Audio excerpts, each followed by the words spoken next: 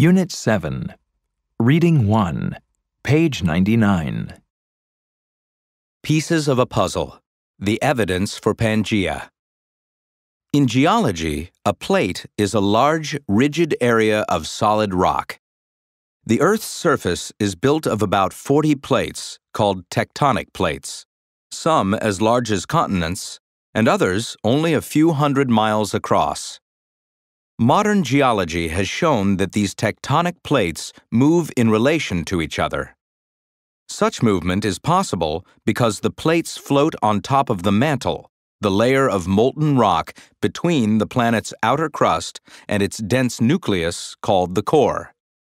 Even before this theory of plate tectonics became accepted, many in the geological community believed Earth's continents had moved during the history of the planet. They were right, but their ideas faced great opposition. Sudden events. Until the 1700s, most Europeans explained the origins of Earth's bodies of water and land masses in terms of catastrophism. According to this explanation, a few sudden, violent events, catastrophes, periodically transformed Earth's surface. Then, a revival of science in Europe restrained the imaginations of geographers. Catastrophism was displaced by uniformitarianism, a term derived from the word uniform. According to this explanation, the forces we see shaping the Earth now are the same forces that shaped it in the past. Since most of the processes we see are slow and gradual, we assume that, for the most part, Earth's surface was shaped slowly and gradually. The belief that continents have not always been in their present positions was common long before the 20th century. In 1596, the Dutch mapmaker Abraham Ortelius suggested that the Americas were torn away from Europe and Africa by earthquakes and floods. As evidence, he pointed out that, if you imagine putting Africa and South America together, they would fit almost like two puzzle pieces. The big opening along Africa's western coast would easily accommodate the hump in South America's eastern coastline. Wegener's theory. More geologists began to think that the arrangement of today's continents gradually evolved. In 1912, a scientific explanation called the theory of continental drift was proposed by a German meteorologist named Alfred Lothar Wegener.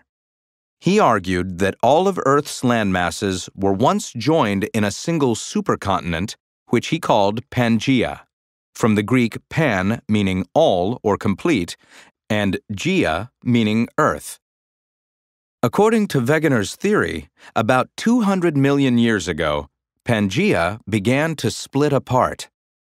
One of Wegener's biggest supporters, Alexander Dutoit, proposed an intermediate stage. He said that Pangaea first broke into two large continental landmasses Laurasia in the northern hemisphere and Gondwanaland in the south. Laurasia and Gondwanaland then continued to break apart into the various smaller continents that exist today. Wegener's theory was based partly on the remarkable fit of the South American and African continents noticed by Ortelius three centuries earlier. He and his supporters also offered other pieces of evidence.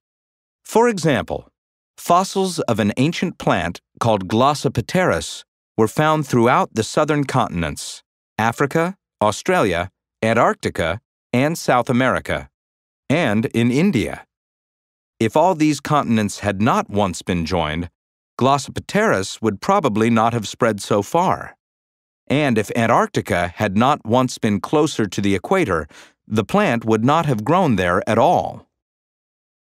Geological structures on today's separated continents also offered evidence. Some mountains in South Africa are structurally similar to mountains in eastern Brazil. The coal deposits of Britain match deposits in the Appalachian Mountains of eastern North America. A band of red sandstone stretches from northeastern Europe through Greenland and into Canada. These similarities seemed too numerous to be random coincidences. But how? Wegener's theory, especially his ideas about Pangaea, took things too far for most of the scientific community. They could accept uniform processes and a slow Africa South America split, but not split after split and then long distance travel by the continents. Their strongest objections centered on the question how? Some scientists tried to show that it was physically impossible for continental rock to move across the ocean floor. Such objections were entirely reasonable, and Wegener's theory had no good answer. Finally, in the late 20th century, the theory of plate tectonics came to the aid of the theory of continental drift. It offered the comprehensive explanation of landmass movement that Wegener had been unable to provide. New evidence made it hard to believe that the continents were not moving. The floor of the Atlantic Ocean was found to be spreading apart. New discoveries showed that the planet's magnetic field is not constant. It fluctuates over very long time periods and has clearly shifted several times. The theory's system of plates moving on molten rock offered a believable answer to the question how. It integrated pieces of evidence ranging from volcanic activity to the formation of mountains to the distribution of fossil plants. It shows that Pangaea not only could exist, but probably did. It also states that the trend toward separation would eventually reverse. The continents will drift together again and form a new supercontinent.